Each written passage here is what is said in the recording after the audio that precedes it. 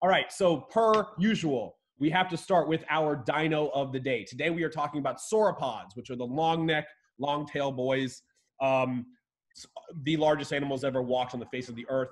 So I thought we'd start at the beginning. So I know we mentioned a couple days ago when you hear the term basal, basically means like early predecessor. So like a basal sauropod is one of the first sauropods, one of the first long neck, or at least the evolutionary steps just before what we would call a sauropod when we saw it. So our we're going to start with our dino of the day being a basal sauropod.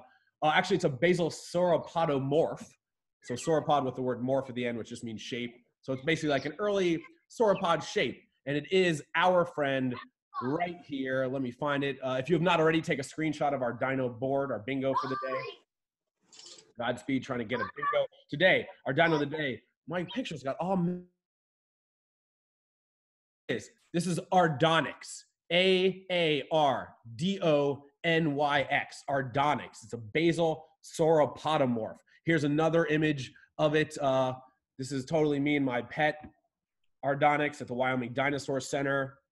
You can see that it kind of looks like a sauropod, except for its arms aren't quite long enough. It may have been able to walk on four legs sometimes, but was habitually bipedal, which means it's always, almost always, walking on two legs, just like you and me. The other kind of crazy thing about Aardonyx, if you look at its skull, it kind of does look like you took like a theropod meat-eating skull and you mashed it up with a sauropod, more plant-eating skull, and you get this intermediary step. So again, this is a very early sauropod. This is Aardonyx. One more time some right here, some right here. This is your challenge for our dino of the day drawing. Uh, my expectations are incredibly high per usual because you guys are phenomenal artists. I'm excited to see these. Now, also I mentioned the bingo. Make sure you try to get a bingo. I thought though we would start today a little bit differently. And Kristina, welcome Hello. back, my esteemed co-host. Kristina, you don't know what's about to happen, but we're about to play a game uh, of which you are the target. Okay. So we are going to play one of my favorite games. It is called Dino or Not a Dino. Here's how it works I am simply going to say the name of an animal, right? Some of them are actual real dinosaurs, some of them are names I've totally made up. It is your job to say dino if it's a dino or not a dino if it is not a dino. Oh boy, okay. this isn't like this isn't like woolly mammoth. Oh, that's not a dino because woolly mammoth actually exists. It's either a dinosaur or a name I totally made up. Now, I will say the name, and I'm going to give you like three, five seconds. So, in the chat box, if you guys know if it is a dino or not a dino, drop some hints in the chat box for Kristina. You can just write dino or not dino. Kristina, are you ready to play dino or not dino? I am ready. So, there are 15 animal names. So, you it's impossible for you to uh, get a tie. All you have to do is get better than 50% to win this game. You have to get eight out of the 15. Are you ready? I am so ready. Wait, I'm gonna remove a troll. Okay. Now I'm so ready. So ready. All right. While she's playing, I'm gonna need Kelly, Grace, Em. You guys, uh, you you guys are on troll watch. You are on. Uh, I don't know how. What do we call this? Troll watch? How do you say troll watch? Anyway, here we go. First animal, Kristina. Edmontosaurus. Dino. What do people think in the chat? Dino or not dino?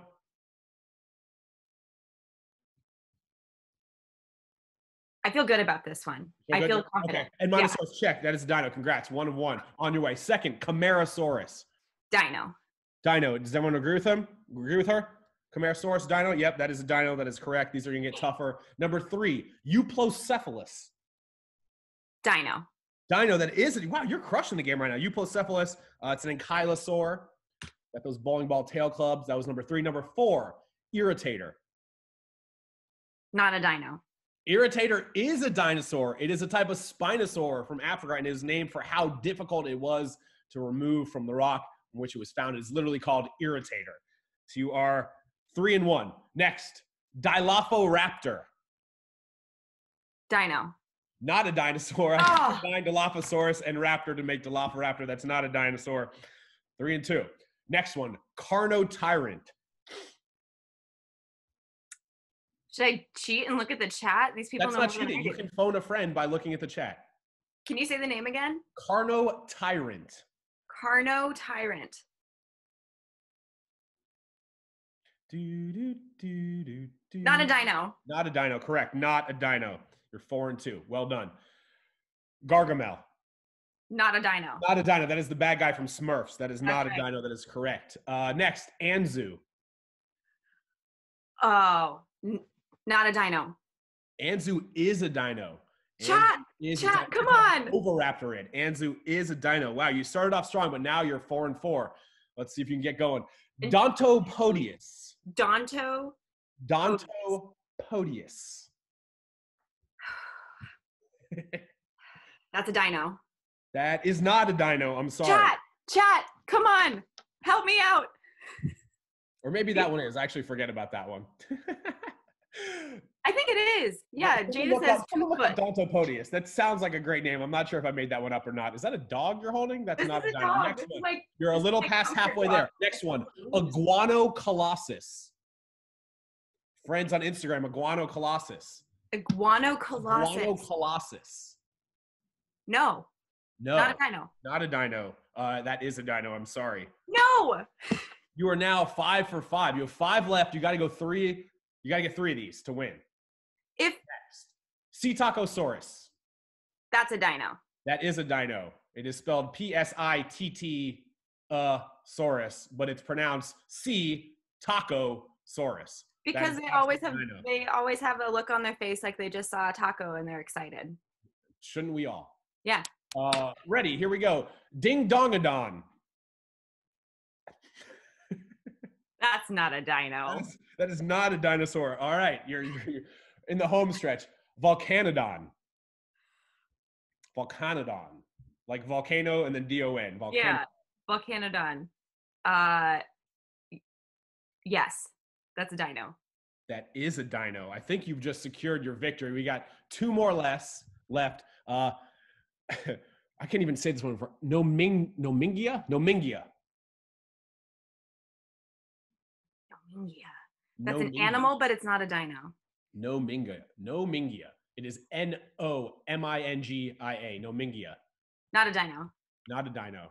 Kelly Reedy, do you think Nomingia is a dinosaur? Yeah, you heard me. I called you out, Kelly. Nomingia. Nomingia is actually it is a dinosaur. Last but not least, you've already won. You've gotten, I think, yeah, you got eight already. Oh, I'm so Last but relieved. Not least, one of my favorite dinosaur names. Oh crap! I just gave it away. All right. Well, now you know it is a dino. It is the longest dinosaur name, mm-hmm. Micropachycephalosaurus. Cephalosaurus. That is the longest dinosaur name. It is a real dinosaur, Micropachycephalosaurus. Kristina, you won. Oh Guess my what God. you won? That was so stressful. It should be. We might play again soon. You know what you've won? What did I win? The right to be my co-host. Let's do this. All right, let's go, guys. We were talking about sauropods today. All right. Uh, I'm going to share my screen so we can see some beautiful sauropods. We're talking all about sauropods today. Here's a bunch of them. Stole this straight, I think, from Scientific American. A bunch of different uh, iterations of sauropod here.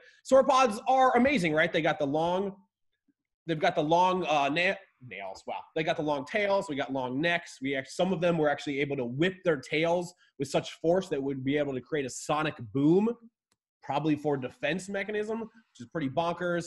Um, other things that are crazy about them is they're giant and they're tiny. Well, not really tiny. Some sauropods were somewhat small. We're talking like 15 feet long versus up to almost 150 feet long. The largest animals that ever walked the face of the earth, up to 100 tons in some of them. Huge, huge animals. Um, wow, I'm getting a lot of requests here. What else? The other really cool thing I think about sauropods is the pneumaticized bones, which means they're filled with air sacs and hollows. And that is one of the reasons why they're able to not only lift their heads and their necks up, uh, but be able to breathe through that entirely incredibly long trachea and neck. Had a one-way unilateral flow of air, so they're always constantly getting oxygen rather than just breathing in and out. And that allowed them to live and survive, which is pretty bonkers. Um, they were also constantly replacing teeth. Constantly. Some sauropods we think lost their teeth every two to three weeks, some every two to three months. So you're always losing sets of teeth, growing new ones. Um, someone in my co some, can a co-host make sure that Jacob Bob gets blocked? They keep on asking to get in. Um, what else? Oh, the other really cool thing here. Let me show you. If you guys look at this picture that you're looking at right now, you see Nigersaurus down the bottom. It's one of the smaller ones. I'm going to zoom in on its face. Look at this thing's face, right? So one of the coolest adaptations, or one of the reasons we think that having a giant long neck was a great adaptation, is that you can stand in one single spot and not expend a lot of energy to find food, right? You can stand in the one spot and then sweep your neck around. Basically, this guy probably using his teeth almost like a lawnmower, just munching and munching and munching without moving their body. Great way to save energy while getting calories. We go back to this one. Some sauropods we know ate uh, more fibrous, harder foods. We can tell that based on their teeth. Some softer, and probably they all exploited different levels of the canopy. Like Nigersaurus, eating probably grass, low-lying plants, versus Brachiosaurus, or really tall ones, reach way up into the treetops. And that was a way that you can have different sauropods living at the same time, exploiting different ecological niches. Last cool thing I want to say about these guys. Uh, here's a pretty cool picture of Brachiosaurus I saw when I was in France.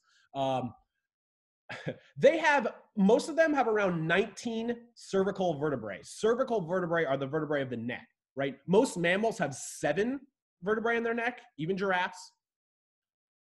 Long neck dinosaurs, 19 cervical vertebrae. These are the longest necks of any animal that's ever existed. Now, we should probably mention, I should probably mention, if you are giant, like many of these guys, let me get a picture that has something of a scale here. Let's say, let's go to this one. Let's say you are a giant sauropod. This is Titanosaur, Patagotitan. We'll get to that in a little bit. You are eating a literal crap ton of food every day, like up to a thousand pounds of food, right? And you've got to push that food once you digest it out your rectal aperture. Uh, my brother called it a defecation portal, like that name as well, right? But if you are eating this much food and you are using little peg like teeth, here's the Titanosaur at the Museum of Natural History in New York. You see those peg like teeth? There's no teeth in the back for grinding plant matter, right? So we're just clipping and swallowing.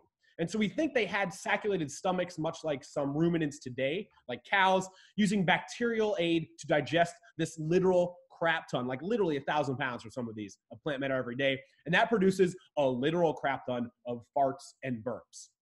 Right? You are this is a giant walking coprolite dispensary, basically, right? And so this thing is farting and burping, and there's good evidence to suggest that burps and farts, mostly burps, but burps and farts from long neck dinosaurs actually changed the climate at the end of the Cretaceous period. Also, can you imagine being farted on by something this size? You could literally die. Like you could literally, it could literally kill you, quite possibly. So, all right, I'm gonna come back here for a second. I know the real question on everyone's mind is about Brontosaurus, right? Right? We is Brontosaurus real? It was real. Now it's back. It wasn't real. What's what's going on with Brontosaurus? What's the deal? So here's the deal. In 1877, uh, if you've heard of the Bone Wars, this is a whole part of the big Bone Wars saga. In 1877, uh, Apatosaurus was found, described, named. Two years later, 1879, Brontosaurus found, described, named. In 1903, only a couple years later, we realized we'd found enough um, Brontosaurus and Apatosaurus specimens to recognize that Brontosaurus was probably just a subspecies or a type of Apatosaur because Apatosaurus had been named first uh, when it comes to scientific nomenclature. Whichever is named and described and published first takes precedence. So Brontosaurus got demoted basically way back in 1903 to being a subspecies of Apatosaurus, right? Fast forward over 100 years, all the way until 2005, when now we have so many more specimens. We have a much larger sample size, and scientists actually looked at 477 different anatomical features across, across 81 individual sauropods, apatosaurs and brontosauruses, to step back and recognize, you know what? These two animals are different enough that they should both have their own genus and species name. So in essence, it was only about five years ago that Brontosaurus was reborn, in a sense, and given its proper distinction as its own very own special dinosaur. So Apatosaurus is real, Brontosaurus is real. They're different, very slightly different, but closely related sauropods. So if anyone says Brontosaurus doesn't exist, well, you know what? When it comes to dinosaur names, the more uh, specimens we have, the bigger sample size, the more accurate we can be with the naming. But yeah, Brontosaurus is back, baby. And in fact, I'm going to show you a picture of one or two or maybe three, who knows, right about now. Um, quick reminder: here's your Aardonyx again. This is our not, this is our dino of a day of the day. If you guys want to make some amazing drawings of our Aardonyx here? Let's see. Let me see if I can find some more brontosauruses. Oh, here's one I painted on uh, someone's wall. That was pretty fun. That's one. Here's another brontosaurus right here, or a patasaurus. So this is an apatosaurus based off, or this is the mock-up from Jurassic World, which I thought was pretty boring. It's just like this darkish grayish, like not really detailed animal. This one I like a little bit better.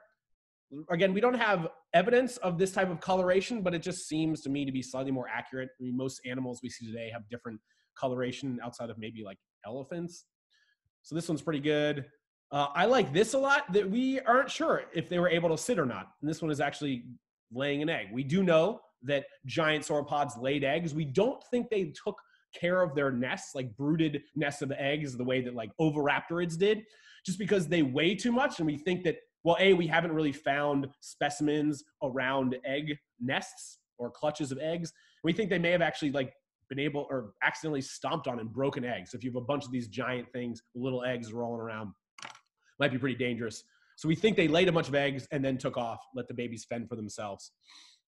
Uh, Dustin, let's pause for a question. Yes. Uh, we have one from M that says, I know giraffes have the same number of vertebrae as other animals. Did all sauropods have the same number of vertebrae as each other?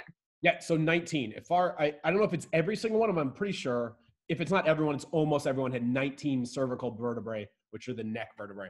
Yeah, which is obviously twice as much as any of the mammals today. Pretty bonkers adaptation. Um, can someone block someone named Lorenzo, please? Mhm. All right. So that was Apatosaurus and Brontosaurus. Now on to everyone's favorite dino from Jurassic World. Uh, if you know what it is, which is the sauropod name? Drop in the comments if you know the sauropod name from Jurassic. I'm sorry, Jurassic Park, the original Jurassic Park. The sauropod they saw in one of the opening scenes. It sneezed on Lex. What do we got? Kristina, does anyone know? Uh, Brachiosaurus is a guess that I Brachiosaurus in chat. Is a very good guess. In fact, that is exactly what it is. Here's a mock-up of Brachiosaurus. This is a Brachiosaurus at the uh, Royal Gorge Dinosaur Experience. This is in Colorado. The cool thing about a couple cool things about Brachiosaurus versus Apatosaurus and Brontosaurus. Look how flat this thing's back is, and its neck and its tail are almost horizontal. Versus Brachiosaurus, whose neck extends higher up, kind of like a giraffe.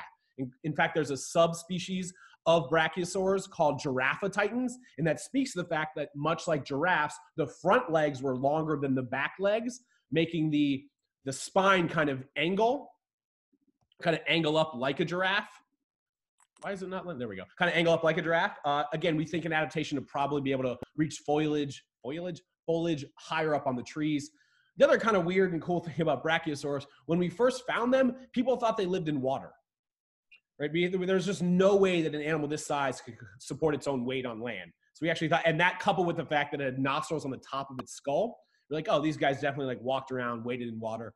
We know now that is absolutely not the case. Its legs were not, its legs were pillars, allowing it to stand up on land. And also because of its pneumaticized bones, bones filled with air sacs and hollows, it was much lighter. That would have allowed it to actually be on land without having to have water take off, take off some of that burden of the weight. Okay. Do we have any other questions, Kristina, before we move on to our third and final major dino of the day? I got a question from Parker and Molly. They want to know was Littlefoot from Land Before Time a sauropod? Yeah, Littlefoot, definitely. I don't know if they ever said it was Brontosaurus or Patasaurus, but yeah, Just a long neck. definitely a the sauropod. name they give it. Neck. Any Uh, other questions? And then someone asked me how many vertebrae humans have. I just looked it up. It's 33. Okay, total. What is? How many cervical vertebrae? I think we have seven. Seven. Seven. Okay, cool. Thirty-three total. Seven. Seven cervical. Cervical again are neck vertebrae. Cool. Any others? Um, I don't have any more questions.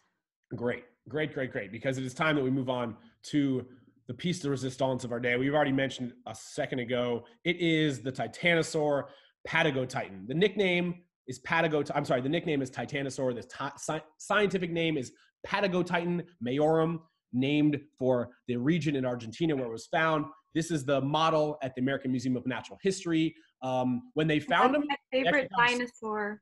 what? And that's my favorite That is your dinosaur.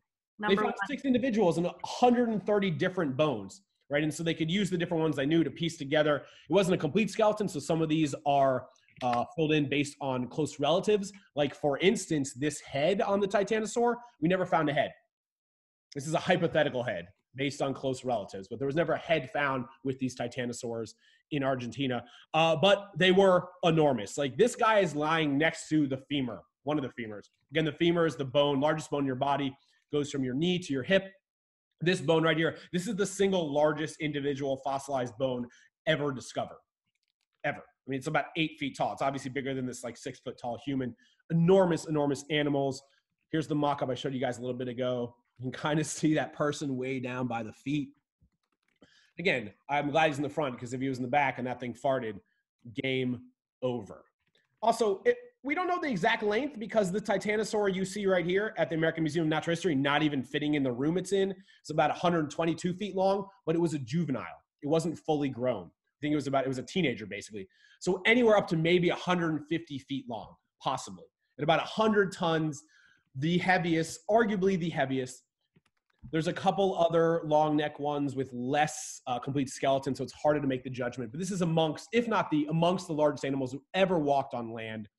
It's only about, by the way, though, the weight is only about half of the weight of a whale, right? It's it's wild to me to think that the largest animal that's ever lived, the blue whale, is alive today as we are alive as well. Blue whales are about 200 tons. Blue whales are shorter than the titanosaur. Blue whale is about 90 feet long. The titanosaur, like I said, 120, 140 feet. But there's not a lot of weight in the tail or the neck versus a blue whale is just like one big chunk of blubbery whale fuselage. So it weighs a lot more. Okay. Christine, do we have any other sauropod questions? I don't have any right now. Okay. That is perfectly fine.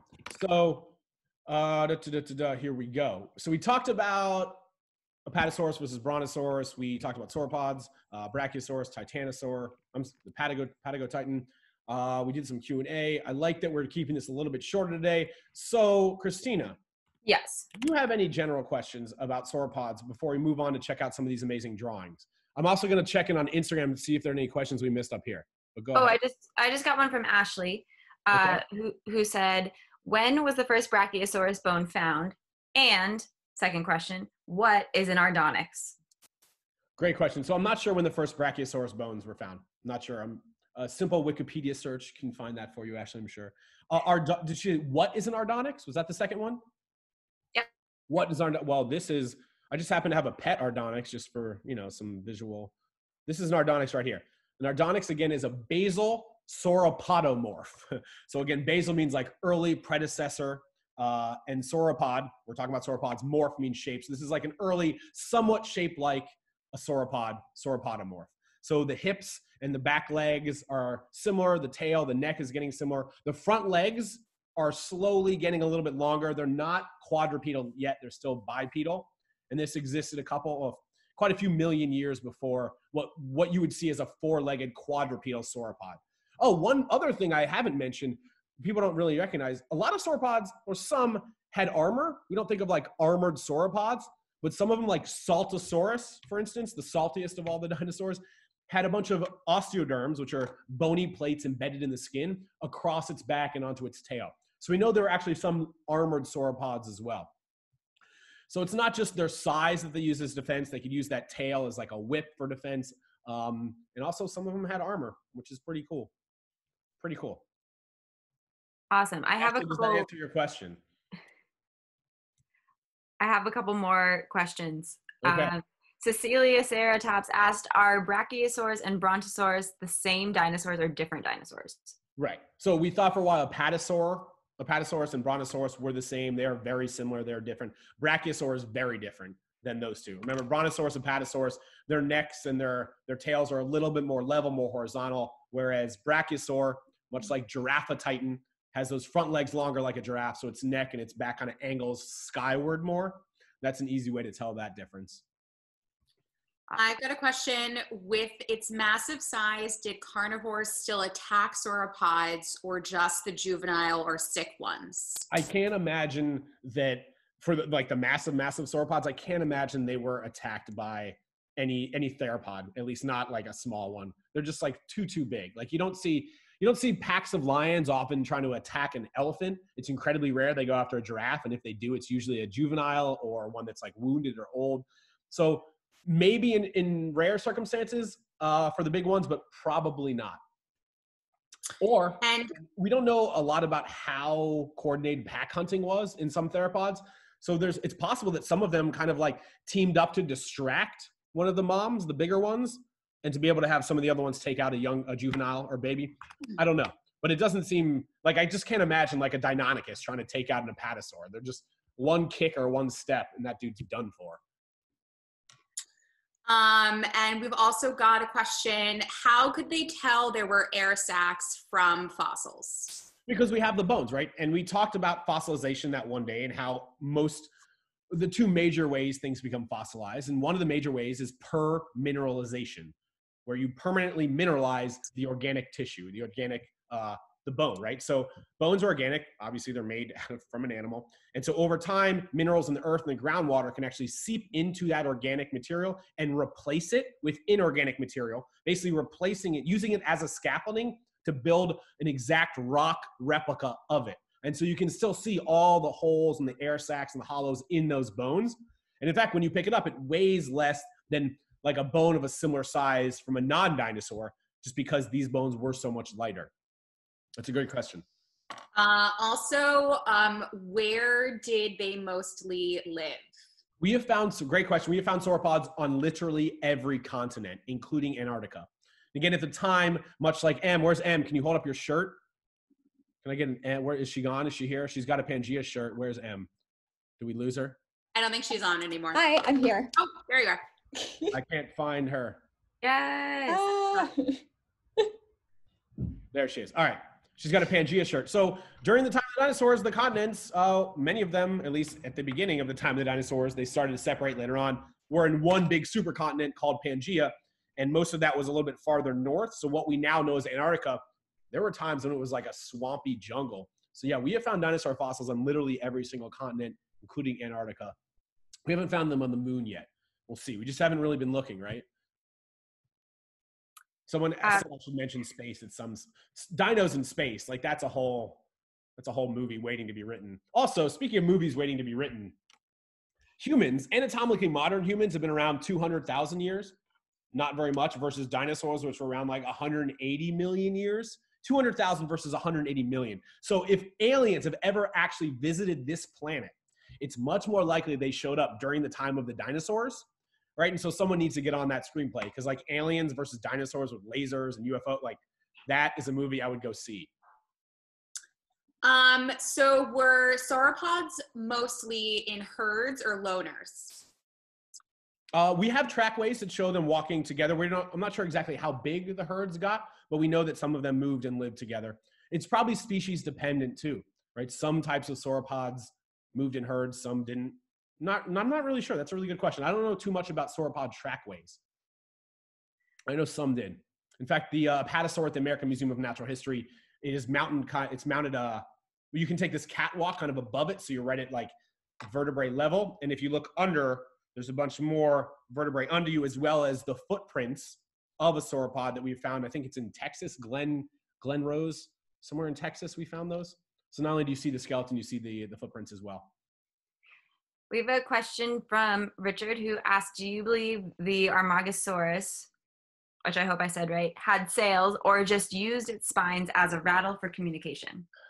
Those, are you talking about like yeah? So it had those. Can you look up a picture of that, Kristina, so we can get it up on the screen? I think you're talking about one of the many sauropods. I wonder if there's one in my images here.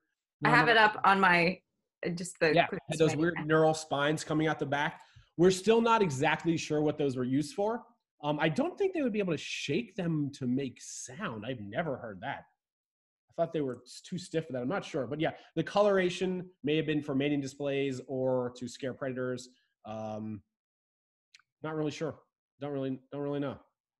Or maybe I've got a thermal que- regulation. That's always the other option. Maybe helping it dissipate heat. That's one reason some people think sauropod necks evolved to be that long to be able to have more body mass that is uh, with v- blood vessels near the skin. So you have a lot of um, breezes and cool air that's hitting that and cooling off the entire giant body because a big body produces a lot of heat. So yeah, we're not sure.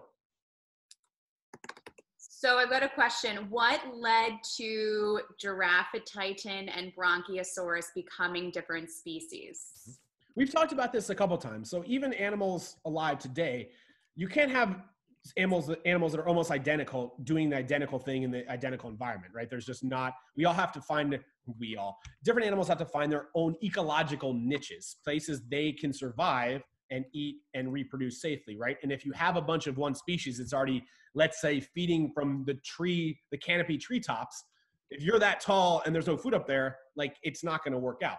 So over time, different animals evolve to be able to exploit different ecological niches, different types of food, different types of environment.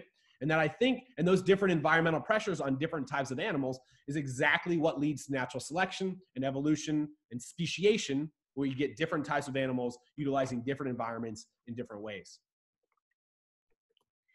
I think we should do one more question, and then I am incredibly excited to see these drawings. Um, I have a question that says sauropod dinos like Brachiosaurus were thought to be mammals according to Robert Bakker. What's your perception of that? So Bakker. Bakker. Oh, this person yeah. So Bakker thought that sauropods were mammals. I didn't know that. So your perception of that is that Bakker is wrong. Yeah, that seems weird and wrong because we didn't have any mammals near. We had some mammals towards the end of the Cretaceous, and they're pretty small. So that seems pretty wild. I've never heard that. Bakker's one that, uh, if you guys remember when we did Deinonychus, and I showed you that drawing, Deinonychus, that drawing was from Bakker, that first crazy, fleshed out, scary, warm blooded, active predator Deinonychus. So that's strange to me that Backer would say mammals. I don't know. I'll look into we got one more really good question and then we can do the images. So Lauren wants to know during seasonal changes, Ooh. do we hmm. know if sauropods migrated or hibernated? Hibernate. wow, good question. Hibernation, I don't think so. I don't know. No one's ever asked me about dinosaurs hibernating. That makes a lot of sense for some of the larger ones. I don't know exactly how that would work. Migration, probably. I mean, I think when it comes to giant sauropods, again, they need a literal crap ton of food every day. So I would imagine they're, it's not really a seasonal migration. I'd imagine they're constantly, I guess, mini migrating because you're always having to move to new environments to get new food because they were a lot of them and they were big and they're eating a lot. Whether or not that there was a specific seasonal migration, I mean, it stands to reason, maybe. Uh, but again, they don't move very fast, right? A lot of things, we think about migratory birds, they can cover ground and cover air pretty quickly. But these sauropods like Brontosaurus, it's not like it could walk or run any faster than, I don't know, like five miles per hour, tops maybe 10. So it's not really moving very quickly. Um, but may, I don't know. I love I love where you you guys are heads are at because you're thinking about modern corollaries, things that happen with animals alive today, and trying to apply those same ideas and hypotheses to animals that haven't been around for millions of years. And that is why dinosaur science is amazing and a great enigma because there's always more for us to question and guess and discover and learn together. On that note, I would love to discover your amazing. My mom just texted me, "What is a literal crap ton?" Well, mom, so crap is a synonym for uh, well, poop, right? I know I, you may have read to me the book Everybody Poops at one point, and animals are no exception. And so, if crap is a synonym synonym for poop, uh, a ton is about two thousand pounds, metric ton. And so, when I say a literal crap ton, I mean this animal may have literally pooped almost two thousand pounds worth of food a day. Probably not quite that much, uh, but you know, it's fun to extrapolate when we talk about poop things coming out of the this one's for you kelly i i wanted to make sure i kept this pg so today I wanted to mention the crap ton. I wanted to mention the Coprolite dispensary, a defecation portal, as well as the rectal aperture. Those are my three nicknames. Uh, that's for you, Kelly Reedy, who is a theoretical physicist and one of the most mature people I know. Kristina, can we see some of these pictures? Let's bring up some of these pictures. I'm I'm gonna scroll through the. Ooh, Rob! I like Rob's I like that, Rob. That looks good. It's kind of got that chunky body in the middle. I'm into that. Juno M has and- color and oh. calligraphy. Do we have the same glasses, M? Let's see, cats. Ooh, cat night. Oh, this one's green with a lot of speckles. I like that you explored different colors. Bryn, what do we got? Oh, wow, that one looks real good. I like that. I like that one. It's mouthy and looks I should. I love that the mouth is very like Pac-Man like, and that's actually kind of accurate for sauropods. Like these things weren't chewing; their mouths were, and their skulls were incredibly reduced in size and weight, be able to be held on the end of that long neck. So they're basically just plucking food, like literally just Pac-Manning it and swallowing it.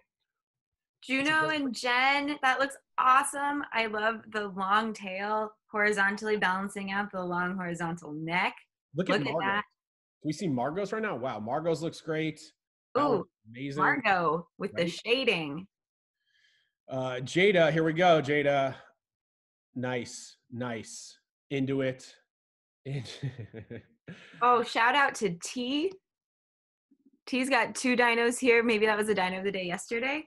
Look at Richards. Richards looks great. I like that. I got the person for scale. I love that you remember yesterday we said if without something for scale, it's just not good science. Because if there wasn't that person there, Richard, like that thing could be, I don't know, the size of a bus. It could be the size of a cat. We don't know. Richard crushing the game. Mary Beth. Ooh, look at that. I like I, like I can see the claws. We didn't talk about sauropod claws today. I should have mentioned that. Uh, most sauropods had three or four claws on their hind feet, and then just one claw, a thumb claw on their forelimbs. So on those front arm leg, arm legs, I guess they're not arms, they're legs. The forelegs, the forelimbs had one thumb claw, thumb spike, uh, whereas the hind feet had three or four claws. Love that you guys have included that. It looks great there. Let's see. Parker and Molly have drawings up as well, and they have. Those it looks like good. I like we got the blue sky in that one. Uh, my mom looking like someone straight out of the Matrix. I'm into it. Uh, let's. What's up, mom? Ooh, Cecilia Ceratops. That looks real good. I like the little arms. Uh, it appears as though you have those wrists facing in. Remember, dinosaurs were clappers, not slappers. I'm into it. Amanda Bart. Uh, oh, I thought that was a drawing. That's a laptop. But hi, Amanda. Julian. Julian, what do you got other than a very cool shirt on? Julian, did you draw it? No. Where's that? Do you know where that shirt's from? Can you write where that shirt's from in the chat? Because I love that. I want it. We got more. Taisha, let's see. Taishi. Nice. You even labeled it. Very good. I like that. I like the little toe claws in the back. We have any other drawings? Natty. Oh, Megan's back. Natty, that looks good. I like the different coloration. We just don't know their color, so have at it. Wildly speculate away on coloration. Megan, uh, there's your backdrop. There is our Brachiosaurus. Can I see your shirt today? Another. I have not seen that Jurassic Park shirt. You guys, you guys are crushing the sartorial game. Alicia, oh, you did a digital drawing. Alicia, that is real good. I like that. I like those four limbs almost touching the ground. Ryan and Sydney. Oh, we've got a whole bunch of things going on here. We got Aardonyx. We got human for scale. I like that you're walking it much like I did. That one, I like the jaunty leg, as it looks like it's doing like a, I don't even know, like a weird two-step situation. I'm into it. All right, I think that's most of our drawings. Uh, we should probably start with or end with the best artist the world has ever produced. Kristina, I gave you like a 15 minute head start on this this morning. Can we see your Aardonyx? Um, yeah, you guys, buckle up for the level of detail. There you go. Well, that's pretty good. I like Thank that. you. Thank you for the applause. Um, I was too busy with dino facts to give this dino uh, a body. So Can you give it a mouth I can. and a And- human for scale? And it can smile. Right. and And, you're going to get a couple extra points because you did win Dino or not a Dino. Um, did you? I'm just curious, fam. Did you guys like the Dino or not a Dino game? Because if so, I might just pick a random person in the chat room every day to play that with to get our get the ball rolling. Did you guys like that? Head nods. My mom's thumbing up. We got a lot of thumbs up. Okay, cool, cool, cool, cool. Nice. That's good, Kristina. Can you make sure that uh, the person is six feet away, though? We want to make sure we're practicing safe social distancing with respect to dinosaurs and human Yeah. beings. I think ceratopsians tomorrow. What do you think? Spiky Saturday? Spiky Saturday. Spiky Saturday. Ceratopsians. All right. Ceratopsians tomorrow. Uh, like always, you guys please share on Twitter. I'm Dustin at Dustin Growick on Instagram at Dinosaur Whisperer. Whisperers. Share all these images. Share with your friends that we're doing this. Um, I would love to bump up and buy the next level of Zoom so we can have even more people and have more uh, chat monitoring controls. So if you want to throw me a couple bucks on Venmo uh, or PayPal, hit me up. It will go straight to supporting this every single day. And Um, just to note, people are asking about um, past sessions. They're all on Dustin's YouTube page, so you can see those. what is Catch the name of the YouTube your, channel, Grace? um, Dino of the Day drawings. Um, oh, we had a request for Furry Friday. I don't think I don't know any dinosaurs that had maybe Feathery Friday. Um, no, but as we're closing out here, if you have other science topics or groups of animals you want to talk about, drop them in the comments because I know a lot of really cool science communicators. Like we had Jason Ward on, who's the bird nerd. Um, I would love to have them on and nerd out about this stuff. I have a friend who is a big cat scientist. I know like Tiger King is at the forefront of everyone's mind. Uh, so if you guys want me to get Carole Baskin to be a co-host, just no, I'm kidding. It's not Carole Baskin. It's not. It's not Carole Baskin. Uh, it's someone else. Studies snow leopards. So put those in the box as well. Um, but I think we're just about out of time, which means you guys tomorrow we're gonna do Spiky Saturday with ceratopsians. Heck yeah. Yeah.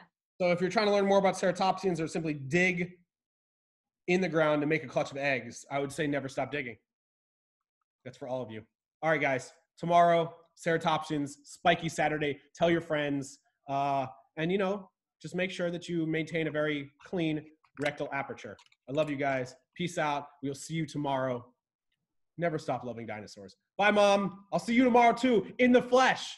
Quarantine is over. Yay! Well, just family quarantine. Stay at home. Stay six feet away from each other. Uh, all my co-hosts, thank you, thank you guys. If you want to be a co-host, you know, and you're here every day, I might make you one, like Augustin. You might be the next co-host. Why not? You're an amazing artist. I'll see you guys soon. Peace out. Thank you.